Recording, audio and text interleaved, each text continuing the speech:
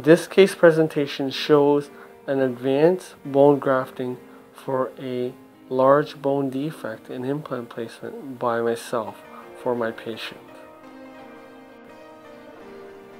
The patient presented with a loose tooth and infection.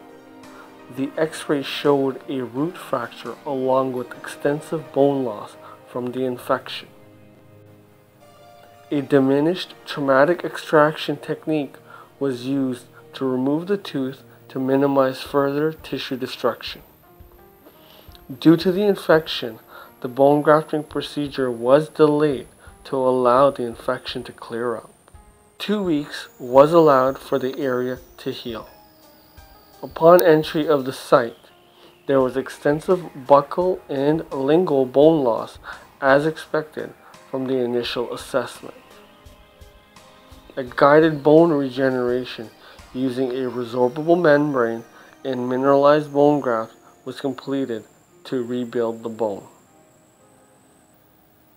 Nine months was allowed for the bone to heal. Upon entry to the surgical site, there was excellent bone regeneration and the implant surgery was completed.